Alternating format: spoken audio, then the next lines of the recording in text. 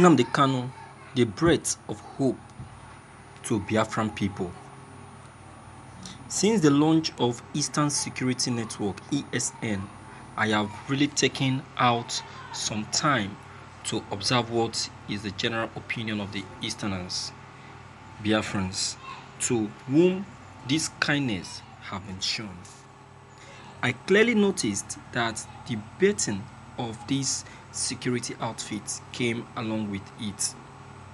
A certain level of reassurance to the people that someone somewhere still cares about their well being. They truly deserve peace, and such a patriot is willing to do anything to create such a conducive environment for them. However, I still noticed that there yet exist some other three major counter opinions attached which stated that they are not the against Eastern Security Network but that the governors and the elders should have been carried along. More support would have been given to the existing forest guards formed by some governors. The indigenous people of Biafra, IPOB, is a proscribed organization and is not in a good position to launch the Eastern Security Network. To this, I am going to briefly respond to. The people who think or thought that the governors and elders should have been carried along should be quickly reminded that the governors forum whose chairman is Engineer Dave Umahi of Ebonyi State had openly stated that they did take an oath to protect the interests of the federal government of Nigeria, the Fulanis, and not that of the Biafran citizens. This was clearly said by Dave Umahi himself and has been proved right by other governors, especially of the southeast region, through their recent behaviors. The Eastern elders likely have not been different in their behaviors towards the safety of our land and the preservation of its value. On the 26th of August 2020, a letter was addressed to the Ohanaeze Ndigbo leadership by Miyetti Allah implying that they had made the choice of the next president of Ohanaeze Ndigbo in agreement with Governor Hope Uzodimma of Imo State. In view of this, how does one yet expect the people to trust this set of leaders for their safety and survival?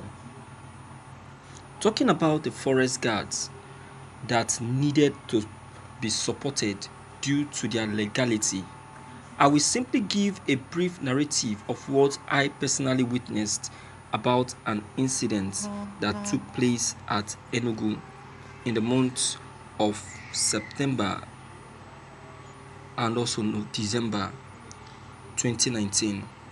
I went to visit someone at 9th Mile, Ngwo, Enugu State, and to my greatest surprise, I met the presence of several armed men comprising of majority of forest guards and police mobile officers roaming around the popular Ninth Mile Junction for about two hours at about 3 o'clock p.m. to 5 o'clock p.m. When I later took time to inquire what actually transpired, it was learned that they were ordered by a state commander to go and apprehend some hoodlums, Fulani suspects. Those presence were noticed in that neighborhood, but as they got there, they got a further order to halt the mission within that long moment of time. Tell me if that was not enough for the hoodlums in question to make their escape. Talking about the purported prescription of IPOB, it is not worthy to state here that this submission holds no water Anybody holding this opinion should be equally reminded that the case is still in court and the federal government is here to prove its claim. With this fact, therefore, it is reasonable clearly that no person needs further explanation to prove that there cannot be a better security measure for Biafra land at the moment than the appearance of Eastern Security Network ESN, which is beyond the control and dictates of the corrupt Igbo politicians and elders. Thank you for listening to this news. Yes, that is the humble truth.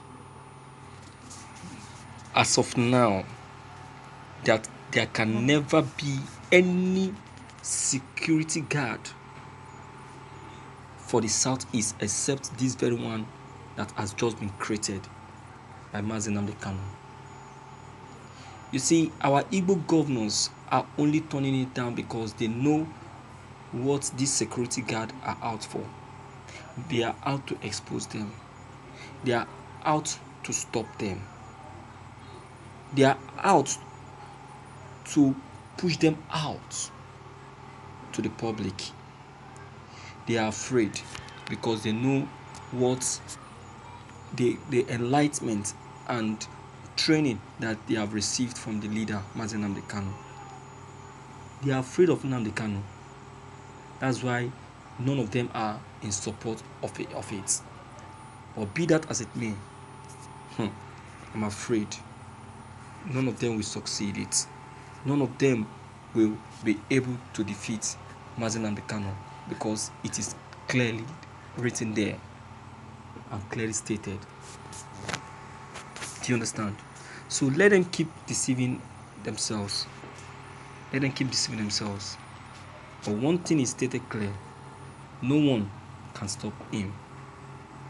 Do you understand? No one can stop him.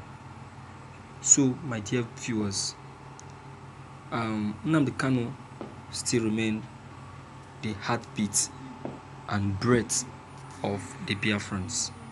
He is the reason why they are they are they, they are they are safe right now. If not, I, I'm afraid. I'm afraid of what the eastern region supposed to be by now. Do you understand? The east would have been something else. The east would have been a different thing entirely. Something that even you yourself will not be able to imagine. Our Nigerian government are not happy. They are not happy with what is going on in present. They are not happy with Mazi Nnamdi Kanu new development for the for the for the for the Easterners. They, they know that Nnamdi Kanu coming in is going to bring a lot of development and exposure. So they don't want that. That is why they all keep criticizing any little effort that he makes. But that doesn't matter. Nnamdi Kanu is not looking at that. What he's looking at now is for the fact that the community is safe for the now because of the presence of the security outfit. Alright, um, my viewers, what is your take and your advice? Deem it fit to leave them below the comment box.